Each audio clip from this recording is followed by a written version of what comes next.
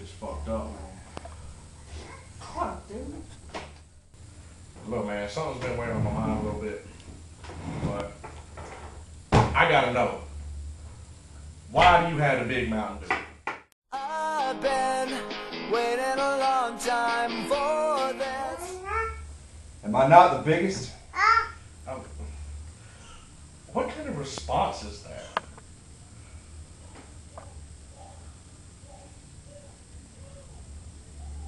Man, I don't understand that either. On top of that, you got my oats and honey too. Damn!